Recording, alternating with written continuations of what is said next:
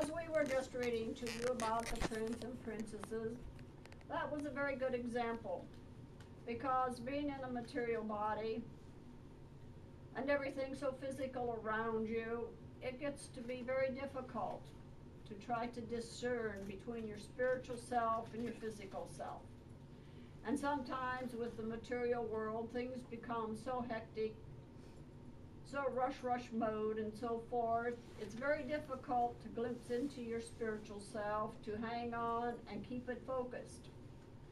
And that is what you must do. That is why you're here.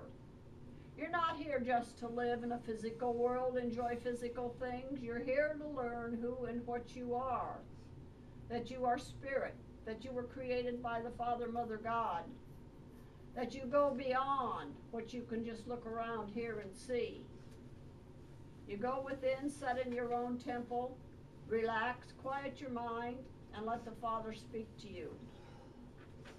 And you'll have many people say, oh, well, I sit and do that, I don't hear nothing. No, because he doesn't come in, and actually, like I'm talking to you, he doesn't do that. He comes in, he embraces you, he holds you. And waves and sensations flow through you. And all of a sudden, you go, oh, I never thought about that. Oh, what a wonderful thought. That is the way he speaks to you.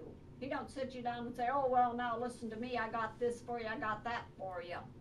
And most people think that's the way it works. That isn't the way it works. Everybody calls it intuition, a sense. Many times in your world, you'll hear many people refer to the sixth sense. What is the sixth sense? Well, they can't tell you that, but you have the sixth sense. They don't understand. They know there's something there, but what it is, they can't explain it. What it is, they have no idea. How you use it, they don't know. Just somebody's got this, whatever, and they can do this and this, and that's it. And that's about as far as it goes with them. Because they're afraid to explore, they're afraid to ask, they're afraid to try to figure it out. But what is there to be afraid of? You're in the light, you're surrounded with light. You're love, you're light, that's all you are. You're encased in a physical body. It's made of fiber, muscle, tissue, whatever else you want to throw in there, bones. There you are. But think about it. When they take and plant a body that's been out in the elements for maybe months, years, there's bones there that the animals haven't carried off, few here, few there. But there's no muscle, there's no tissue, there's no skin, there's nothing there, just bone. And if the bones lay there long enough, pretty soon there isn't even any bones. They're all gone too. They just disintegrate, vanish. So what's left? Most people say, nothing, it's all gone. Oh, no, it's not. Your spirit is left. And you can't kill your spirit, you can't bury it, you can't forget it, you can't leave it, you can't ignore it, you can't acknowledge that it doesn't exist. Because as soon as you enter our world and open your eyes, you're whole, you're all in one piece, you're beautiful, you're love and light. And as you progress, move forward, your light becomes brighter and brighter, your physical appearance becomes less and less because you realize you are spirit, you are love and light. You don't need the trappings of a material world. You're free. You don't sleep, you don't eat. You can have all the knowledge at your fingertips that you wish to enjoy, and on goes life. That is why you're here. You're here encased in a body to teach you the lessons of mankind, of struggle, learning. Sometimes they're easy, sometimes they're hard, but the whole purpose is for you to learn, to be able to discern between your spiritual and your physical for you to be able to understand that you are God's creation, to, for you to understand that you are also spirit as well as physical, and you have many beautiful options before you down the path of life.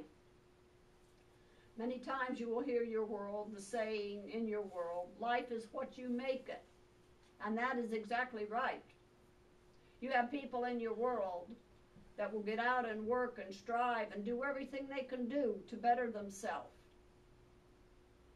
And do you have those in your world that go through life and sit in a corner and whine and cry because nobody's feeding them, keeping them, and paying their bills and doing this for them, that for them, and something else for them because they feel they're owed? But nobody's been able to figure out so far that I know of what it is they're owed. Why they think they're any different than anybody else that has to do things in life to make it right, make it work, and make it what it's supposed to be. But there again, each person is an individual. Each person has free will, and each person is entitled to do whatever they please. But always remember, you have the key to unlock the door. But be careful of what door you unlock. Because the door you unlock you may not like.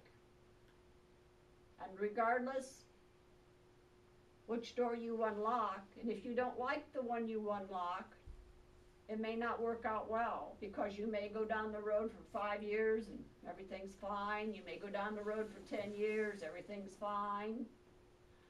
But at some point in time, nobody knows when, there will be accountability for the wrong one.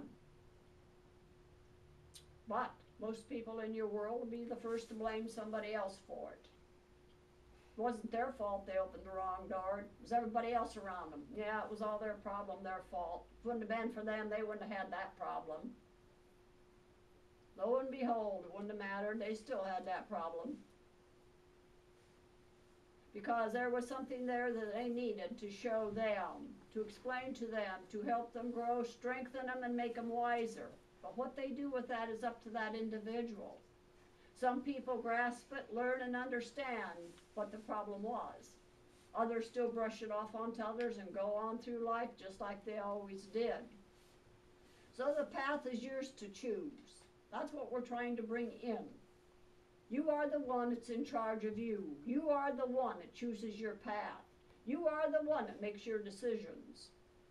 Yes, you let yourself be influenced by other people. Yes, sometimes you feel someone is wiser than you and perhaps has a little better knowledge of what would be better for you. So you give them the benefit of the doubt. But the worst thing to do when you are in that situation, when it doesn't work out, is to blame the other person. You have to just look at them, surround them in the light, God's love, and bless them. Maybe their decision wasn't right for you, or maybe they influenced you the wrong way. But for your own progression, your own path, your own self, you cannot hold a grudge, resentment, any kind of ungood thoughts, as we call them. Because that's why you're here. You're going to be going. You're going to be stepping on the stones and every once in a while step off and get your feet wet. You're going to be going down the path and every once in a while trip over a log or a rock. Why? Because the Father wants you to open your door. Go in, sit down in your temple, and talk to Him. The Father wants you to follow your light, to see within that you are spirit. You are a child of God. You have many beautiful things that you may reap, enjoy, and have in this lifetime. Or you can throw it all away and be miserable through your whole journey on the life plane. The choice is yours. But He is always there for you, holding you up, guiding you, giving you nourishment, courage, faith, love, and understanding. You are the one that has to receive it. It is there, it is yours for the taking. But if you don't want to take it, nobody can make you. If you don't want to try to see who and what you are and do what you're supposed to do, then that's your choice. But all you need to do is go within, be still, and listen. And you'll find peace, contentment, and happiness. You'll find many answers to many questions. You will figure out which path you are to follow and how to follow it with the least trouble. You will begin to understand how beautiful life truly is. And you have a wonderful saying in your world, and I wish to expand it. Stop and smell the roses. Well, stop and look at the landscape, the beautiful trees around you, the beautiful sky above your head. Look all around you and see what was created for your enjoyment. And what is man doing with the most of it? Turning it into buildings and cement. And that's as far as his vision goes. It is time for him to open the doors and look beyond. And give thanks to the Father for everything out there. Everybody complains about birds chirping and singing and doing this and that, and this one and that one and the other one. But put it this way your world would not be where it is today if it wasn't for all these things that God created. If God just made a piece of land flat and bare and nothing on it, and put Adam and Eve on it, so to speak, how far would mankind evolve? Few years, wouldn't be nothing left but a dry piece of land with nothing on it. Man needs all these things to make the world a beautiful place. Everybody already knows all these wonderful trees take carbon dioxide and oxide and all this other side out of the air and make it breathable for mankind. So mankind's going through and cutting down all the trees. So, 100 years from now, are they all going to run around with oxygen masks on to breathe? Man doesn't use his head for anything. It is all right to build, it is all right to be prosperous, it is all right to have wonderful things, but all in moderation, not greed. So, when you do things, think about it. When you have questions, be still and listen. Ask the Father. When you're in doubt, work with your forces.